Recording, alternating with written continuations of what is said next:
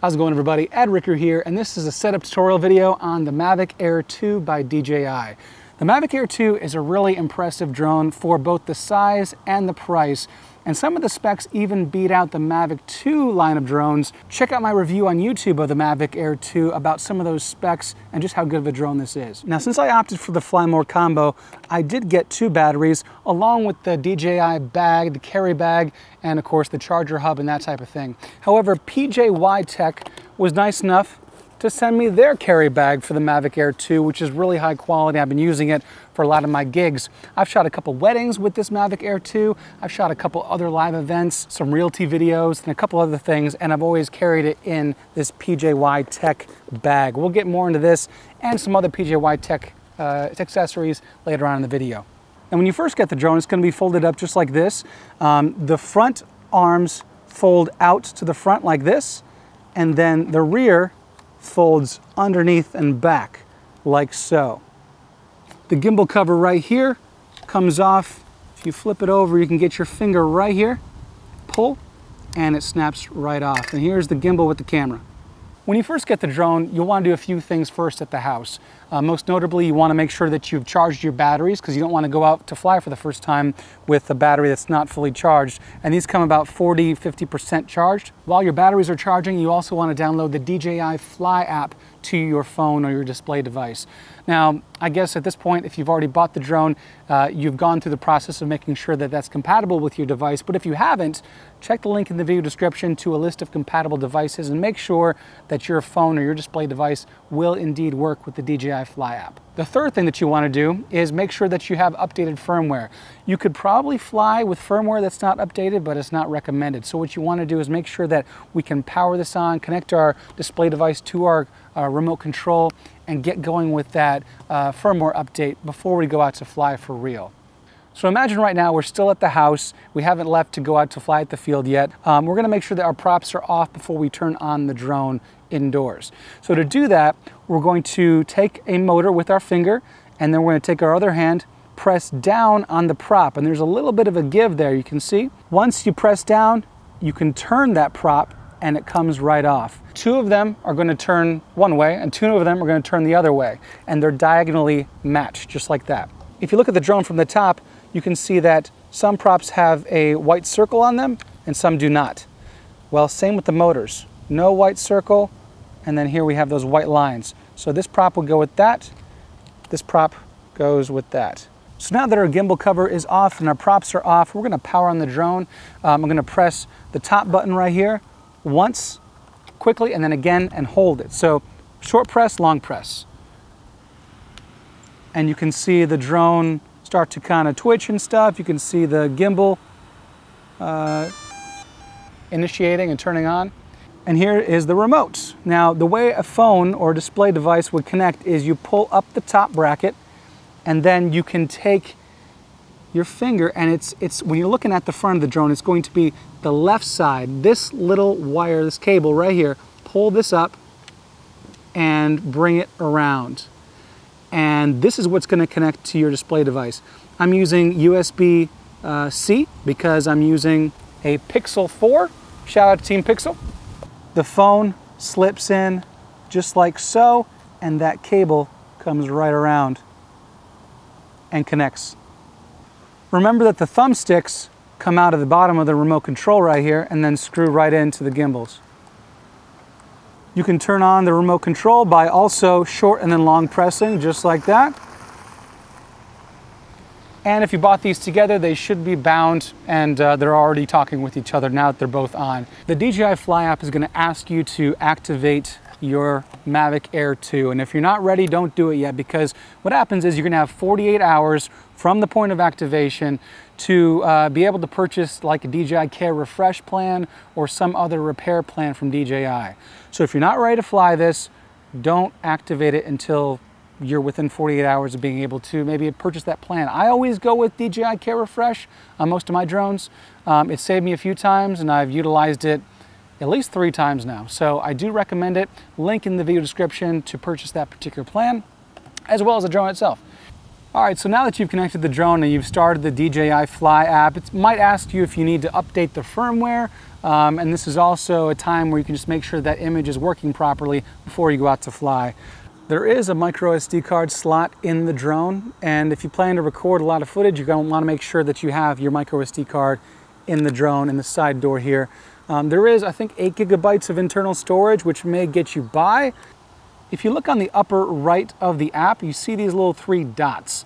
If you click that dot or you tap it with your finger, up comes the first couple uh, options here. We have safety, control, camera, transmission, and about and we can adjust some of these values on these various tabs just to make sure that the drone is going to operate the way we want it to. Um, for instance, max altitude, we might want to set to just under 400 feet. If we're in the United States, we want to keep it under 400 feet above ground level uh, with the FAA. Max distance, you can set if you want to. Um, I have it on no limit. Auto return to home. So RTH means return to home. And what that means is it's going to return to home at an altitude that you set it at. And you want to make sure you set the altitude above the highest thing around you. So if you're around trees and buildings and that type of thing, make sure you set it above the height that you think those things are at. 180 feet return home altitude is going to be just fine for around here. Um, there's nothing probably over 75 feet around here. So 180 feet is uh, how high it's going to come back if it gets into trouble, loses connection. It's going to come back automatically and it's going to be higher than anything else and it won't hit something. Scrolling up here, we have obstacle detection, which we want to have turned on. There are no side sensors or uh, top sensors on the Mavic Air 2, but there are front, rear, and bottom sensors. So let's keep the sensors on. Also, we have our ability to uh, calibrate our compass and our IMU. Scrolling down, we also have advanced safety settings. Um, so here you can select what you want it to do if there is signal loss. You want it to descend, you want it to hover, or return to home. Let's always have it return to home with signal loss. That way at least they'll come back to us because if we're flying over water or trees or wherever, uh, you don't want it to just descend automatically. Also, emergency propeller stop. Make sure that's set to emergency only uh, because if you go ahead and move the sticks in this particular configuration and it's not an emergency where the drone is sensing that you're falling or crashing, uh, your, your drone's gonna fall out of the sky and that's not a good thing. So make that emergency only.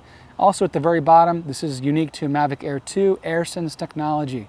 Enable it so that we can be notified if there are manned aircraft in the area and then we know what to do, whether we need to descend or just keep an eye out for what's, you know, what kind of air traffic is around us. Let's go back and then go to our control tab. Here we can select our units, um, so it can be metric or imperial, and uh, gimbal mode. Let's keep it on follow mode, make it simple. Um, and then also we're going to allow upward gimbal rotation. That means that the gimbal can go higher than just the horizon level. If you turn that off, then when you want to move the gimbal up and down, it will actually be locked with the horizon. So uh, enable that. We're going to give a, little bit more uh, possibility for moving the gimbal up and down with that enabled. Gimbal calibration is also maybe a good thing you want to do. Uh, if you select gimbal calibration, it'll do it automatically. Uh, takes I don't know, like a minute to do. And it's just gonna allow the gimbal to uh, calibrate, move up and down, left and right, and make sure there's no problems. Go into your camera settings and you can select various things. Um, MP3 versus MOV, uh, color, normal, coding format. Let's just kind of keep it all default, um, especially if you don't know exactly what these values mean. Just keep them default for now. Um, and at the very bottom, we have our general uh, histogram and our overexposure warnings. I keep those on, but again, that's something that may not be of interest to you. Um, I'm going to turn those off for the moment. And then we also have things like white balance, uh, which we can keep on auto. And then uh, where we want to record to, our SD card or internal storage. So let's keep it on SD card. And by the way, this reminds me I have to format this SD card pretty soon because I'm running out of space. I do turn off the cache when recording. That's one way that your display device will start to record onto it uh, a lower resolution image or video. Um, I turn that off though. I just record straight to the micro SD card in the drone itself. The next tab is transmission, HD versus smooth. So you can either have a higher resolution live transmission or a smoother transmission. I keep it on HD. Frequency is on dual, channel loads on auto. Let's, let's not mess with any of this. And then about is just to check like your, your model, your firmware, um, your FlySafe database.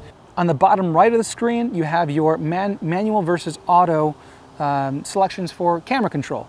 We're on manual right now, but if you tap the M with the camera, we can go to auto, and maybe auto is a good thing when you're first starting out. And on the upper right, you see your battery, you see your RC signal strength, you also see your GPS signal strength and, and your satellite connection. So right now, we're connected to 14 satellites out here, which is absolutely perfect.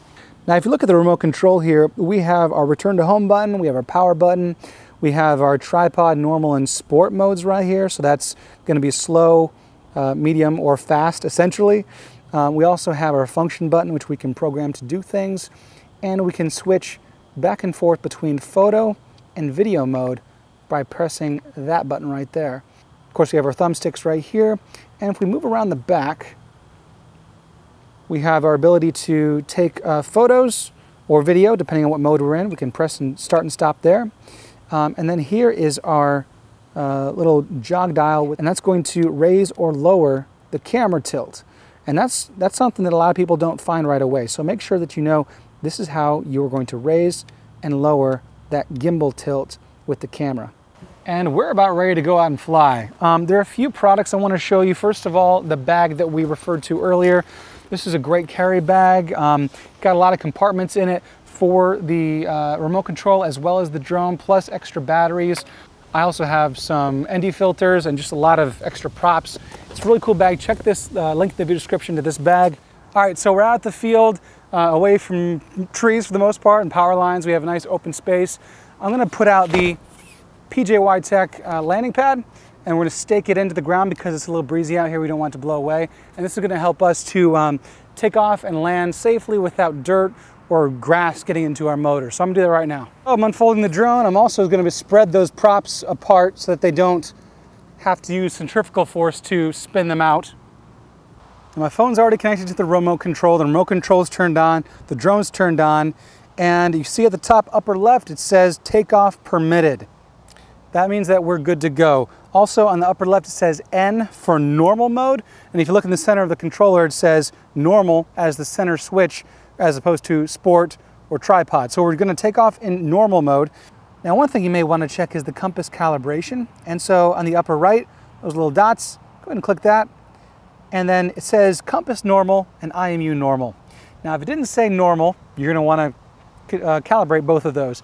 However, compass, I'll, I'll teach you that anyway. It, there's no harm in doing it again. I'm gonna go ahead and hit calibrate while the drone and the remote control and everything is on and hit start. And what it's gonna want you to do is rotate the aircraft 360 degrees horizontally. Now what I like to do is take the drone and kind of orbit around the drone. So the drone itself is not moving through space, not much anyway. And once it finishes there, it now wants to rotate it vertically. So I'm gonna then put the drone upward like this and do the same thing.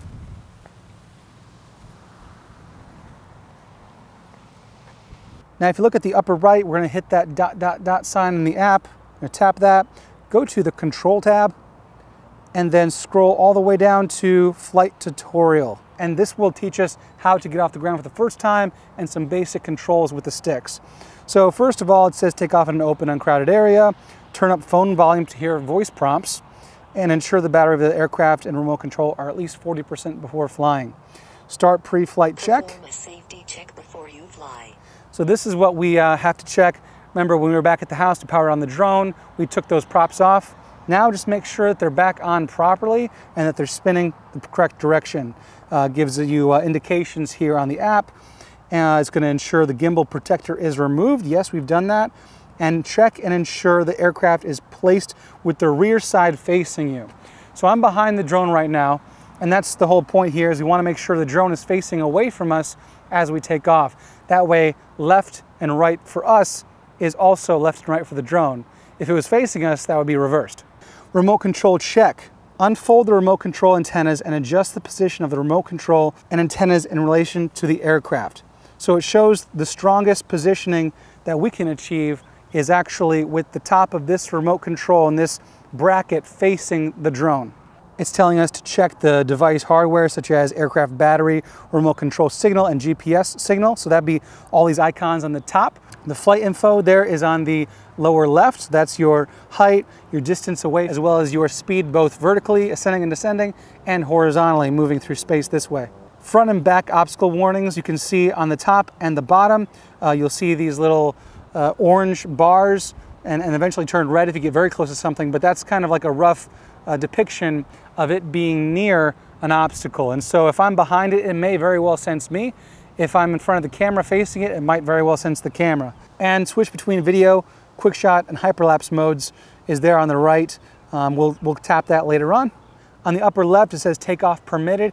If there was any problem, whether uh, mechanically or uh, maybe location-wise because you were near an airport or a no-fly zone of some sort, it's going to tell you that on the upper left. Looks like we're good right now. And here we are, we're about to take off. So tap here to take off, uh, to, to, open the takeoff window. So we're going to tap that little icon on the left and then hold this take off button. We tap it and hold it and it'll turn green with a little radial and it takes off. Now you hear that? That is uh, it's sensing me. I'm right behind it. It's sensing my body. So I'm actually gonna move a little bit because that's really annoying. but uh, basically that's the sensors in action. That's the warning uh, that's gonna uh, indicate that you are near an obstacle and it's sensing you. So if I move back behind it, you see on the bottom of the, uh, the app, see that orange line? That is me. So it's sensing me and it's telling me where in relation to the drone I am or anything is. But come on this side, there we see at the top that orange line. That is also indicating that it's sensing me. Uh, it says ascend one meter. So with the left stick, we're gonna be pressing up and we ascend one meter. Now we take that left stick and we push it down. And we have gotten back to about roughly where we were and then turn left. So this is yawing, turn left, and turn right. So that's all left stick operation right there. Now wants us to fly forward. So this is right stick. We're going to be pressing up with the right stick. That moves forward, backward, and translate left and translate right.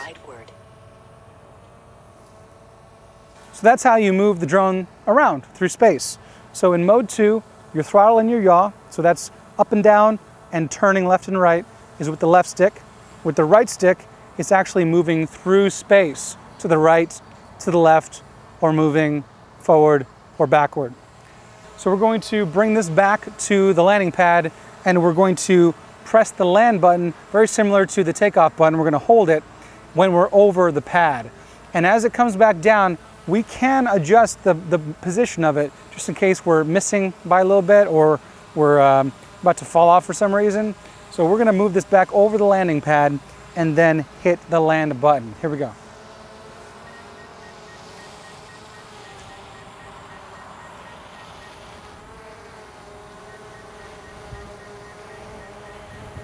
By the way, there's a big gust of wind right now. So what I'm gonna do is wait it out. I'm not gonna try and land right now. So if ever it feels like you're not safe to land because of one reason or another, wait. Um, if you have a gut feeling, trust it, so I, I feel this wind, I'm gonna wait. All right, the wind is pretty much gone now, so what I'm gonna do is press the land button, and as it's landing, I'm just going to use my right thumbstick and just adjust it and make sure that it's actually gonna land on the pad. now that pad is pretty small. Um, you might get a larger pad if you want to make it easier on yourself, but I was able to do it even with a little bit of breeze. Um, either way, that's pretty much how you take off and you land, and then everything after that is just more detailed movements, you know, using both thumbsticks to create a, a combination movement that, you know, works for whatever you want to do. I'm gonna go ahead and take off again. We're gonna press that takeoff button, we're gonna get a little higher this time. So go ahead and take off.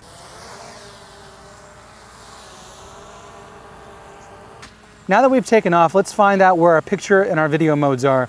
On the right, you see uh, that little film strip. It may look like something different if it's in photo mode to begin with, but either way, you tap that and up comes your photo mode, your video mode, your quick shots, your time lapse, and all the different categories within that. Um, I'm gonna stick with video and I'm already at 4K 30, which is my preferred shooting style anyway. So let's go ahead and stay with 4K 30, but this is where you could select your resolution and your frame rate. I'm gonna go ahead and get out of it by tapping anywhere on the screen. And the red button there on the right is how you start recording. So I'm gonna tap that, and now we're recording straight to our SD card. You can also use the right trigger button on the remote control to start or stop. let's go up. So what I'm gonna do is use my left thumbstick and press up to uh, throttle up and get up higher in the sky. And I'm also yawing a little bit to the right just to kind of take a look around, you know? At this point, what I'm gonna do is stop. I'm at 84 feet high. I'm also four feet away from my home point, so still very, very close to being straight above where I took off. I'm gonna go to auto uh, video settings. Right now it's on manual, but let's go to auto. And then I'm gonna tilt down with my gimbal using my left uh, index finger on that dial there. And as we tilt down, we can see where exactly we are. We're at this park. I'm gonna yaw to the right with the left thumbstick, push to the right. And here we are. Now this is where I actually did the uh, Mavic Air 2 review and the Mavic Mini setup tutorial. So it's a very familiar spot to me. I like it because it's kind of, you know, there's, there's space to, to fly around, but not many people walk around here. It's kind of the side area of a larger park that no one really knows about, so I love it. So I'm just using my left thumbstick to kind of yaw back and forth and my uh, index finger to move up and down with the, with the gimbal. You also see with auto video settings, so if you're tilted up, the sky gets darker, and of course the ground gets almost too dark, I would say. You tilt down, and the ground really brightens up, and the sky becomes brighter. Now here's a little tip that's special to the DJI Fly app.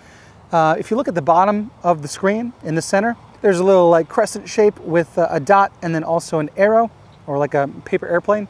The dot represents me and the little paper airplane represents the drone. So as I move my body, you can see that the drone is moving around that. So it's an indication of where the drone is in relation to where I'm pointed. So if I'm holding it like this, that means the drone is right in front of me. I look up and there it is. If I turn this way, it means the drone is over to my right. So if I look up, there it is. You can also see that the drone indicator right there is also turning. So that's a good way to know which way the drone is facing, as well as where it is 360 degrees around you. Also on the bottom left is a GPS map there. We were to expand it and then expand it again, we can see that we are here in Raleigh, North Carolina. If we pinch in on the map, we can see exactly where we are. Again, if I start turning with my body, you can see that indicator is moving. You can also see that the drone moves.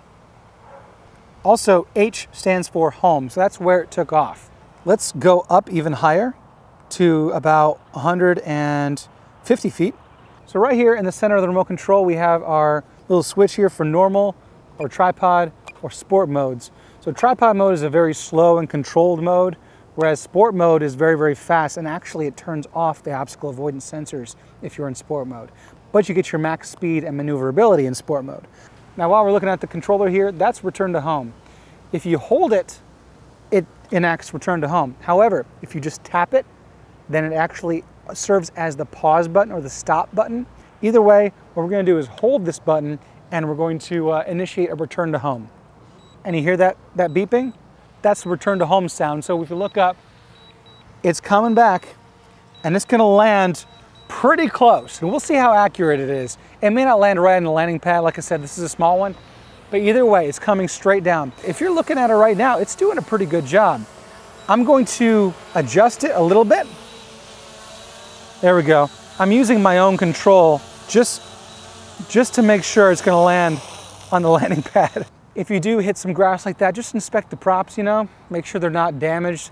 A little grass like that's not gonna hurt anything, but um, I hope that this uh, video helped you out a little bit. If you have any questions, comment below. Also, thank you to PGYTECH for sending me the landing pad, the bag.